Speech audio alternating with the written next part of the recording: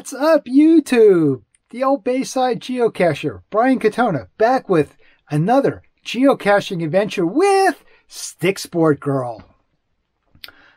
After yesterday's Fenwick Island adventure, we decided to do some more caching up in the West Chester area, and we went over to the Helicopter Museum where they had an Adventure Lab cache. Uh, we had gone over a few weeks ago, but they were having a uh, open house at the Helicopter Museum, so we weren't able to do it that particular day.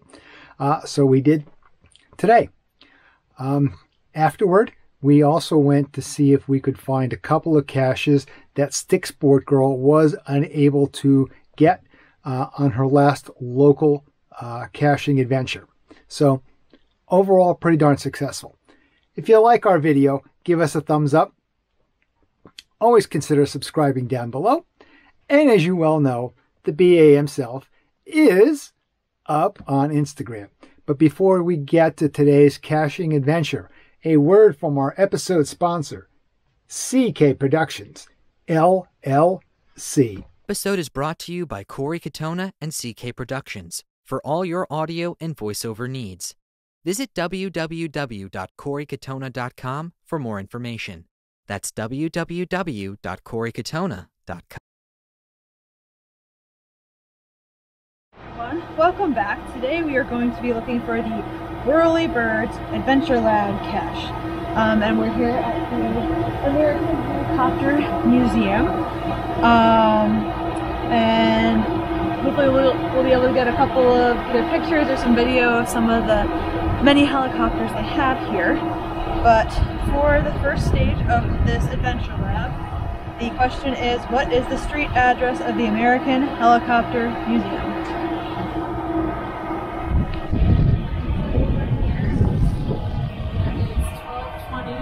American Boulevard. So I'll click on that. And that'll be our first first stage. So we're going to take a little walk, come back when we get a little bit closer to some of the other locations and continue our journey from there. We have moved to the side, I guess, of the museum and you can see that there's a few helicopters behind me. So the first, or the second stage, I guess I should say, is the Orange Whirlybird. And as you can see me, there's an orange whirly bird right behind me. And the question here is, what year did this aircraft begin its service?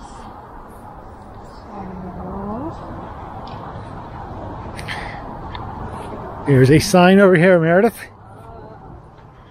Should have known it was labeled. All right.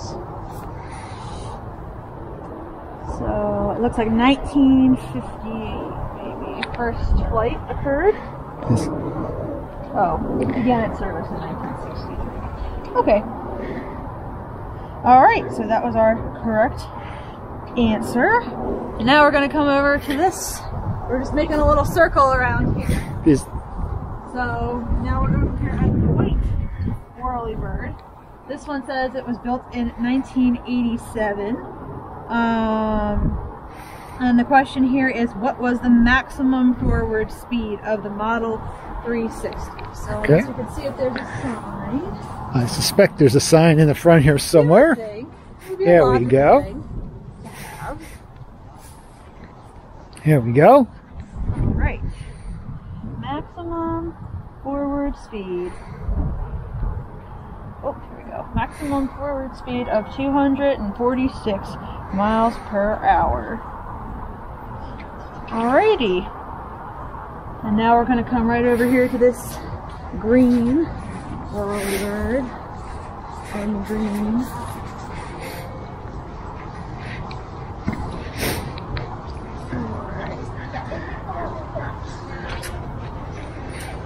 Alrighty, so this is the Sea King.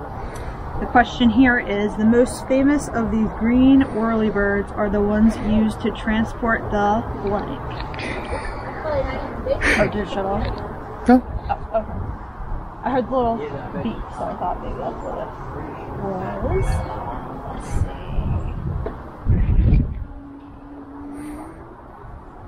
Oh, transport the president from the White House.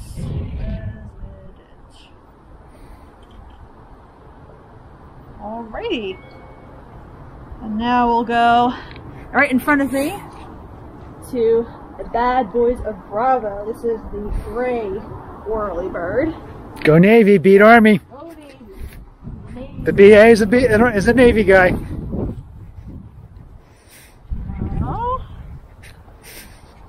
And here, the question is, what is the rotor rotor diameter of the Sea Sprite helicopter? I don't know if that's how you say rotor, but it's R O T R O R. So, um, let's see. Rotor diameter is 44 feet. Alrighty. So just like that, we've finished our adventure lab here at the American Helicopter Museum. So hopefully you got to see some cool This is very cool. helicopters. Is there a There is. a bonus cache. So we are we got some of the coordinates and we will come back when we are closer to Welcome back. We are here in West Goshen Township Park because we are looking for the Whirly Whirly Birds Lab bonus cache. Um, so we got the coordinates after we did the Adventure Lab over at the American Helicopter Museum. So now we're going to try and find it. Um, it's a micro, and the hint says large evergreen tree.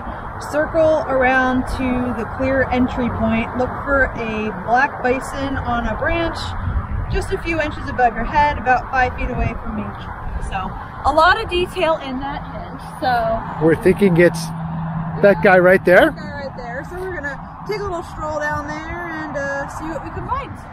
Eagle Eye, Mr. BA, Mr. able B. to make that quick find today, but and that hint was very, very good. That was a wonderful hint a beautiful hint. So because that, that, that bison tube would blend into this very well. very, very well. Yeah. Alrighty, so we have now completed the Whirly Birds Adventure Lab cache, and bonus cache. So I will sign the log and we'll come back for hopefully another cache today. If not, we'll be back in another adventure. So we are back over um, in a nursing home parking lot and or assisted living, independent living parking lot.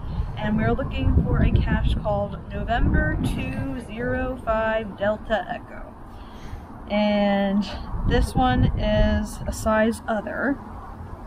The cache description says it is not one of those, so don't even look there. However, I'd say this hide has only a slightly, I think it's higher calling. Um, the hint is fence. So right now we're about 25-ish feet away. So, I tried to find this one once before by myself, and I was not successful. So I'm hoping that having two pairs of eyes The will help. BA, maybe the BA could see it. Right. So we're gonna navigate over closer to the fence, try to take a look, and uh, see what we can find. Hopefully, we avenge my previous did not find. So, Mr. BA, well documented. Here we go, there, as you guys can see. There we go. Now I'm so mad that I didn't find this the first time I found it because I definitely tried a bunch of these, but, But you didn't, did you realize that they popped off? you know, I tried them because like when my coordinates did it, it was further away from like the lamppost. So, but I should have known. It said something about the lamppost, so I should have known to look by the lamppost. It's okay. I the first the first time we uh, the first time we did that, I didn't try to pop that off uh, as easily, and then I got one off, and I'm like, well, maybe there's some others. So, all right, we're gonna get that one, and we're good here.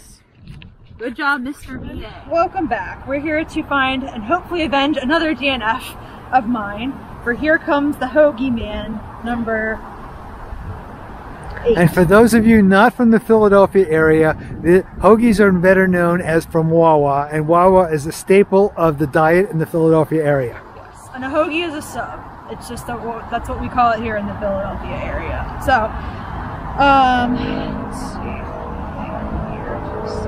So this, it says it's a size other. The hint is nope, not under there, but your prospects are looking up. So right now we're about 15 feet away. So Mr. B.A. put his hand back behind here. there it is. Yep, that's what they usually look like, something like this.